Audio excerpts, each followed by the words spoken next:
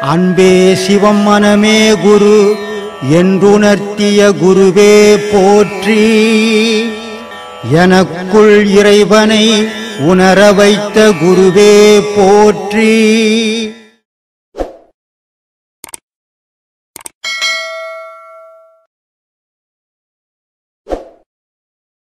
நான் வரல நான் இல்லை. அப்படின்னு யாரும் வருத்தப்படாதீங்க. என்னுடைய ஆன்மா உங்களோட தான். இருக்கு உங்களுக்கு பாதுகாப்பாக தான். இருக்கு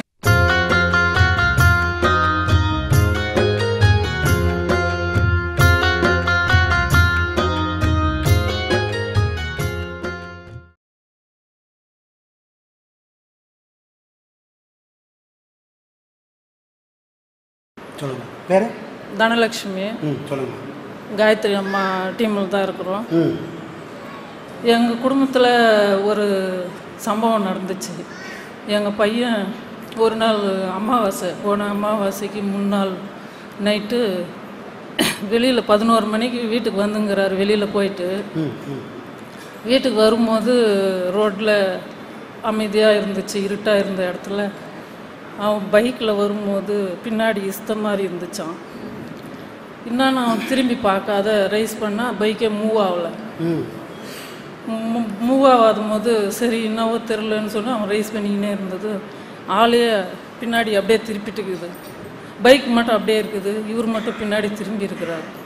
திரும்பி இருந்ததும் ஒரு காற்று மாதிரி மேலே வர்றது அவருக்கு நல்லா தெரியுது. அப்பா என்னை காப்பாற்று அப்படின்னு சொல்லி உடனே பைக்கு விட்ட மாதிரி இருந்துச்சு. விட்ட மாதிரி இருந்ததும் ரைஸ் அவர் மூவ் பண்ணிக்கினே இருந்தார் இல்லையா? அப்படியே வேகமாக வீட்டுக்கு வந்துட்டார். வீட்டுக்கு வந்தோம் கை காலெல்லாம் கழுவிக்கின்னு அப்பாவோட விபூதி வச்சுக்கின்னு உள்ளே இருக்கிறாராம் உள்ளே இருந்து சவுண்டு கேட்குதான் வெளியே வா வெளியே வா அப்படின்னு. நான் மேலே இருக்கிறேன் அவர் கீழே இருக்கிறார். கீழே இருக்கும்போது அவங்க வீட்டில் அவங்க அம்மா வீட்டுக்கு போயிட்டு இருக்கு. இவர் தனியாக இருக்கிறாரு. நைட்டு பன்னெண்டு மணி- ஒரு மணி நேரமாக அவரால் படுக்கவும் முடியலையாம் வெளியே வா வெளியே வான்ற சவுண்டே வருதாம் புக் எடுத்து எதனா எழுதலான்னு பார்த்தாலும் எழுத்து வரலையாம் எனக்கே ஆச்சரியமா ஆயிடுச்சு எனக்கு ஃபோன் பண்ணார். அம்மா நீ கீழே வா. அப்படின்னு சரின்னு கீழே போனால் பன்னெண்டு மணி. அம்மா இந்த மாதிரி ஆச்சு அப்படின்னு சொன்னா அப்படி. எனக்கு ஆனால் அவர் முழுசாக சொல்லலை. சொல்லலைனாலும் நான் ஏதோ கெட்டது காற்று தான் ஒன்றும் பயப்படாதப்பா. அப்படின்னு சொல்லிட்டு விபதி எடுத்து அப்பாவை நினச்சி அவர் நெத்தியில் வச்சுட்டு நான் உன்னோட கூட படுக்கிறோம்ப்பா என்னோட கூட படுப்பா அப்படின்னு சொன்னார். படுத்ததும் என் கையை பிடிச்சின்னு அவர் தூங்கிட்டார். நான் தூங்கலை. என்னப்பா இந்த மாதிரி இவ்வளோ கஷ்டம் ஆயிட்டு பையன் ரொம்ப பயந்துட்டு அப்படியே அப்படின்னு அப்பாவை நினச்சேன். விழித்த நிலையில தாங்கிறேன் நம்ம தூங்கவே இல்லை. தூங்காத போதே அவர் சொல்லாத விஷயம்லாம் அப்பா எனக்கு உணர்த்தினார். அவர் போயிட்டு வந்த இடத்த எனக்கு காமிச்சார். ஒரு வீடு சேலில் இருந்துக்குது. அதை இட்டுன்னு போய் காமிக்கிறதுக்கு போயிருக்கிறாரு அவர். அவங்கள இட்டுன்னு போய் காமிச்சு பார்த்து அந்த வீட்டாண்ட போயிட்டு வருந்ததை என்கிட்ட இவர் சொல்லலை. எனக்கு இது விழிப்பு நிலையில் அப்பா உணர்த்துறாரு. அந்த வீட்டுக்கே என்னை இட்டுன்னு போய் இந்த வீடு உங்கள் பையன் சேல் பண்ணுற அப்படி அப்படின்னு. அந்த வீட்டில் டேம் கொஞ்சம் வேலை எல்லாம் இருக்குது. மேஸ்திரி வேலை பண்ணிங்கிறாங்க அவங்க சொல்கிறாங்க உங்கள் பையன் இந்த வீட்டை சேல் பண்ணுறாங்கன்னு அந்த வீட்டு உள்ளேருந்து ஒரு வாய்ஸ் எனக்கு பொம்பளை வாய்ஸ் கேட்குது இந்த வீட்டை உன் பையன் எப்படி முடிச்சு கொடுக்குறான்னு நான் பார்க்குறேன் அப்படின்னு கேட்குது நான் ஒன்றுமே சொல்லலை. அந்த வீட்டெல்லாம் உள்ளேருந்து வெளியே வந்துட்டு பையன் தூங்கி ஏஞ்சி காலையில் கேட்கலாம் அப்படின்னு சொல்லிட்டு காலையில் நான் கேட்டேன். உண்மையை சொல்லுப்பா நைட்டு எங்கே போயிட்டு வந்தேன்னு நான் சொல்கிறதா அப்படின்னு சொல்லுமா அப்படின்னு சொல்லுமான்னு சொன்னான். சரின்னு சொல்லிட்டு நான் இந்த மாதிரி நீ வீடு சேல் பணத்துக்கிட்டுன்னு போய் காமிச்சியாப்பா அப்படின்னு கேட்டேன். ஆமாம்மா உனக்கு எப்படிம்மா தெரியும்? நான் சொல்லாதவே நீ சொல்கிறியே நான் ஒன்றும் சொல்லலைப்பா எனக்கு அப்பா தான் எனக்கு காமிச்சு கொடுத்தாரு. நீ அந்த வீட்டாண்ட போகாத. உன் உயிருக்கு ஆபத்து இருக்குது. அப்பா தான் உன்னை காப்பாற்றி இங்கே இட்டுன்னு வந்துக்கிறாரு. என் பிள்ளைய எனக்கு மீட்டு கொடுத்து. என் பிள்ளைய எனக்கு மீட்டு கொடுத்தாரு. அப்பா கூட இருந்து நீ இனிமே அங்கே போகாதப்பா அப்படின்னு நான் சொன்னேன்.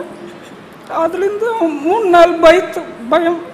ஒரு மாதிரி வா வெளியே வா வெளியேன்னு அவனை ரொம்பவே இம்சப்படுத்திடுச்சு அப்புறம் காயத்ரி அம்மாவுக்கு ஃபோன் பண்ணி சொன்னேன். நீ வா மௌன குரு சா அங்கே ஆசிரமம் ஒன்று அங்கே வாம்மா பையனை இட்டுன்னு வாம்மா. அங்கே போயிட்டு எல்லாம் தியானம் பண்ணி விபூதிகளாக வச்சு பையனை இட்டுக்கின்னு அமாவாசை அன்னைக்கு அங்கே போயிட்டு எல்லா வீட்டுக்கு வந்த பிற்பாடு வேலை கூட பத்து மாதமாக வேலைக்கு போகாத ஒரு மாதிரி மனநிலை சரியில்லாத மாதிரி ஆகிட்டோம் அவன் பையன். ஒரு லாஸ் ஆயிடுச்சு. அதனால அவன் அந்த மாதிரி ஆகிட்டான் அங்கே போயிட்டு வந்த மக்காததுனால பழைய இடத்துல வேலை செஞ்ச இடத்துல அவங்களே ஃபோன் பண்ணி வேலைக்கு வாப்பான்னு கூப்பிட்டாங்க. இப்போ புள்ள நல்லா இருக்கிறான் வேலைக்கு போயிருக்கிறான். இதுக்கெல்லாம் காரணம் அப்பா தான். நான் ரெண்டே உபதேசம் தான் வாங்கியிருக்கிறேன். எதனா கஷ்டம்னா அப்பா இப்போவும் என்னோட கூடவே தான் இருக்கிறாரு. வெளியே எங்கேயும் இல்லை. அப்பா சமாதியில் இல்லை என்னோட கூடவே தான் இருக்கிறாருன்னு நான் நம்புகிறேன் எனக்கு அதெல்லாம் உணர்த்தி இருக்கிறாரு நான் எல்லாமே உணர்ந்திருக்கிறேன். எல்லாமே காயத்ரி அம்மாகிட்டையும் சொல்லியிருக்கிறேன். எல்லாமே எனக்கு அது அப்பா கூட இருந்து தான் என் குடும்பத்தை காப்பாற்றி இருக்கிறாரு கண்டிப்பாக கண்டிப்பாம்மா நிச்சயமா. இதை வந்து இப்போ உங்கள் வாழ்க்கையில் நடந்த மாதிரி இங்கே நிறைய பேர் சொல்லாமல் இருக்கிறாங்க. நிறைய பேரோட தனிப்பட்ட வாழ்க்கையில் நிறைய விஷயங்கள் அவர் நடத்தி கொடுத்துருக்காரு. காரணம் என்னென்னா அதுதான் ஆரம்பத்திலே சொன்னேன். நாம் உள்ளன்போடு அவர் கூட ஒருங்கிணைச்சோம்னா நமக்கு கூட இருந்து அவர் வழிகாட்ட வேண்டியது அவரோட கடமை. ஆனால் நான் என்ன பண்ணுறேன் நான் இருக்கிற வரைக்கும் நானே அதை பார்த்துக்கலாம் முயற்சி பண்ணுறேன் அதுதான் வேணான்றேன். நமக்கு ஒருத்தர் இருக்கார் எல்லாத்தையும் நான் இருக்கிறேன் வாடான்றாரு. நான் என்ன பண்ண அவர் காலையில் சரைஞ்சு வச்சுட்டேன்னா அவர் எல்லாத்தையும் நடத்தி கொடுப்பார். அந்த பக்குவம் என் மனசுக்கு இருந்ததுன்னா அவர் இங்கே இருக்காரு அங்கே இருக்காருன்னு சொல்ல வேண்டியதில்லை. எப்பவும் நமக்குள்ளே இருக்கார். அப்பா இல்லை செத்துட்டாருன்னு நினைக்கவே தேவையில்ல. அப்பா எந்நேரம் நம்மளோட தான் இருக்கிறாரு. அவரை நினைச்சா நம்ம குடும்பம் நல்லாவே இருக்குது. கண்டிப்பாக கண்டிப்பாக கண்டிப்பாக நான் எப்போதும் பசங்களை பற்றியே ரொம்ப வெஜனப்பட்டுன்னு இருந்தது உண்டு. பையன் இந்த மாதிரி இருக்கிறான் அந்த மாதிரி. அப்போ பையனை வெளியில் மீட்டதும் இல்லாத வேலைக்கு அனுப்பிச்சு நல்ல பிள்ளையா வச்சிருக்கிறாரு இப்போ. அதுக்கெல்லாம் காரணம் அப்பா தான். எல்லாம் நல்லபடியாக நடக்குமா எந்த கவலையும் வேணாம். மனசில் இருக்கிற பாடத்தை அங்கே கொத்துமே இறக்கிடுங்க. அப்பா கிட்ட சொல்லிட்டு நான் பாடத்துல ரெண்டே பாடம் தாங்க வாங்கினேன். இருந்தாலும் வெடிகாலம் நான் ஏந்திரிக்க லேட் ஆனா கூட அப்பா வந்து என்னை எழுப்புறாரு. விபூதி வாசம் எனக்கு வருது. நான் ஏஞ்சிடுவேன் கரெக்டா எல்லாம் கூடவே இருந்து எனக்கு வழி நடத்தின்னு இருக்கிறாரு. அப்பா இல்லைன்ற நினைப்பே இல்லை. கூட தான் இருக்கிறாரு அப்படின்னு நான் நம்புறேன். நல்லதும்மா நல்லது இந்த நம்பிக்கை உங்களை என்றைக்குமே காப்பாற்றும். ஆ. சரிங்களா வேலூர் மாவட்டம் தீனதயாளன் சரி நான் மூணு உபதேசம் வாங்கியிருக்கிறேன். எத்தனை? மூணு. ஆ. ஆஹ் சித்திர பாட்டினுடைய விளக்கம் தெரியணும் அதுக்கோசரம். சொல்லுங்கள் சாமி தெரிஞ்சா சொல்கிறேன் இல்லைன்னா ஐயாவை கேட்டு சொல்கிறேன் மூல துவாரத்தில் முக்கரமிட்டு ரைட்டு. கும்பிடுங்க துரோகுள்ள அது அது பெருமை தெரியுது மிச்சம் மேலே தெரியல. மூல துவாரத்தில் முக்கரமிட்டு மேல துவாரத்தில் மேல்மனம் வைத்து. அப்புறம்? அச்சு உள்ள விளக்கு எண்ணெய் உள்ள தண்ணி இல்ல எரியுதுன்றாரு. அதனுடைய விளக்கம் தெரியணும் அதுக்காக அது விளக்கம் தெரியணும்னா நாம் சுயமாக அனுபவிக்கணும். இங்கே என்ன பிரச்சனைனா ஐயா நிறைய விஷயம் திரும்ப திரும்ப சொல்லிட்டாரு. பெரிய பெரிய விஷயம் மறைச்சு வைக்க வேண்டிய கூட எல்லா விஷயத்தையும் ஐயா சொன்னதுனால நாம் அந்த பாடம் கொடுக்கும்போது என்ன ஆகுதுன்னா அதை அனுபவிக்காமல் ஐயா சொன்னதை நம்ம திருப்பி சொல்கிறாங்க ஆமாம் அதனால இது பாடம் சம்மந்தப்பட்ட விஷயம். பெரும்பாலும் நம்ம என்ன பண்ணுறோன்னா ஐயாவே அதான் அவாய்ட் பண்ணாரு. ஆனால் அதையும் மீறி வெளியே வந்துடும் அதனால நம்ம பாடம் கொடுத்துரு அவரை கேட்டோம்னு வச்சுக்கலாம். ஐயா சொன்ன விஷயத்தை அப்படியே சொல்கிறாரு அது தப்பாயிடும். அதனால இது பாடம். பாட்டு தான். தெரியாத பாடம். பாடம் வந்து பெரும்பாலும் மைக்கில் சொல்லக்கூடாது. இது வீடியோவில் சொல்கிற விஷயம் சரி. அது குரு உண்டு சீடம் உண்டு. சரிங்களா? அடுத்த பாட்டு. அடுத்த பாட்டு தெரியும். இது கர்ணனை பற்றி ஐயா நிறைய சொல்லியிருக்காரு. ஆமாம் நீங்கள் நீங்கள் ஒரு தடவை ஏன்னா ஒரு அவர் உதாரணம் காட்டி ஏன்னா அதான் சொன்னேன் சாமி இப்போ வந்த உடனே அதான் சொன்னேன். நான் இல்லை தான் நீங்கள் இல்லையா? நாம் கற்ற கலை கர்ணன் வந்து குடைவலல் தான். மா மாற்றமே இல்லை. பெரிய வில்லாளன் தான் மாற்றமே இல்லை. ஆனால் அவனை எது அழிச்சுது? அவனை செஞ்ச தர்மம் அவனை காப்பாற்றுது எப்போ காப்பாற்றுது இன்னொரு வில்லு தாக்காத அளவுக்கு தான் காப்பாற்றுது ஆனால் அந்த உடம்புல இருந்து உயிர் கொண்டு போகவும் காப்பாற்றுச்சானா இல்லை. சாச்சிட்டாங்களே மகாபாரதத்தில்? ஆயிரம் தான் தர்மம் செஞ்சு தர்மம் வந்து ஓடி வந்து முன்னே நின்னாலும் உன்னை காப்பாற்றக்கூடியது எது? எதுவும் இல்லை. ஏன்? சாய்க்கத்துன்னு ஒருத்தன் வந்துட்டான். அப்போ அவன் தர்மம் செஞ்சான். எல்லாம் எங்கே போச்சு? போச்சு. பரம்பரை என்ன? பீஷ்மர் கூட அவரை முன்ன நின்னா கர்ணன் கூட ஜெயிக்க முடியாது. துரோணர் ஜெயிக்க முடியாது. அவரோட குருவான யார் கற்றுக் கொடுத்தது? பரசுராமர். அவரும் அதை ஜெயிக்க முடியாது. அவ்வளோ வில்லால. ஆனால் என்ன பண்ணா? சண்டை நடக்கும்போது அவன் கத்துன வித்தையே அவனுக்கு மறந்து போச்சு. புரியுதுங்களா இதுக்கு காரணம் என்ன? குரு கிட்ட ஒரே ஒரு பொய். யார்கிட்ட? குரு. குரு கிட்ட ஒரே ஒரு பொய் சொன்னதுனால அவன் செஞ்ச தர்மமும் அவனை காப்பாத்தல. அவன் கத்துக்கின கலையும் அவனை விட்டு கா காப்பாத்தல. எதுவுமே அவனை காப்பாத்தல. சாட்சிச்சு. காரணம் என்ன? குரு துரோகம். குரு துரோகம். குரு துரோகம் பண்ணா நீ எவ்வளவு பெரிய ஆளாக இருந்தாலும் நீ விழுந்துருவ. அதுக்கு தான் நம்ம திரும்ப திரும்ப திரும்ப குரு குருவை முன்னிலைப்படுத்தி சொல்கிறதுக்கு காரணமே என்னன்னா குருவை தவிர நமக்கு ஒரு போக்கிடமே கிடையாது. அதனால் குருவை மனசில் ஏற்றுங்க நீங்கள் கற்றுக்கின கத்துக்கின காலம் அப்பதான் உங்களை காப்பாற்றும் எல்லா பாடமும் வாங்கிட்டேங்க இனிமேல் நான் கற்றுக்க ஒன்றுமே இல்லை. அப்படின்னு நினச்சிட்டிங்கன்னா நம்மளை விட ஒரு முட்டாள் யாரும் இல்லை. கற்றுக்கின கலை உனக்கு பழிக்கணும். நீ எதை தேடி வந்த ஆரம்பத்தை எதை தேடி வந்திருப்ப? ஐயா இந்த பிறவி எனக்கு வேணாம் ஐயா நான் இறைவனை போய் அடையணும். அதுக்காக தானே வந்திருப்போம். அந்த கலையை ஒரு இடத்துல கற்றுக் கொடுக்குறாங்கன்னா அந்த குருவுக்கும் அந்த இடத்துக்கும் துரோகம் பண்ணக்கூடாது.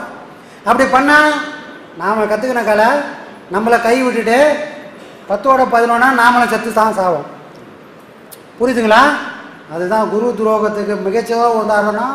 தர்மத்துக்கும் அவன் தான் உதாரணம். குரு துரோகத்துக்கும் அவன் தான் உதாரணம். புரியுதுங்களா? இது ஐயா போகாத டாபிக் அதான் உண்மைதான். சார் நல்லது.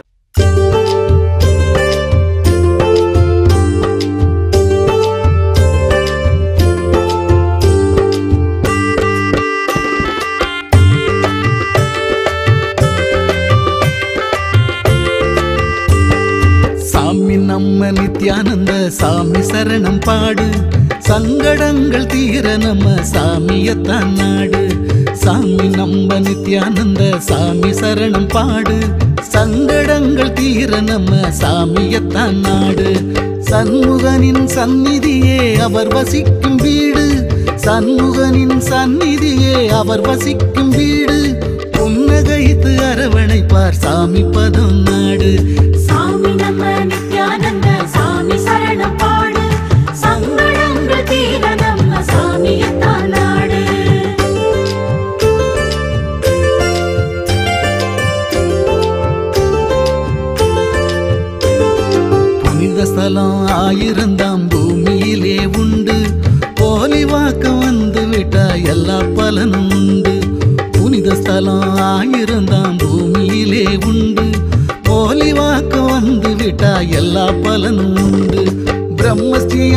நித்யானந்தர் திருமுகத்தை கண்டு பிரம்மஸ்ரீயாம் நித்யானந்தர் திருமுகத்தை கண்டு தரிசித்து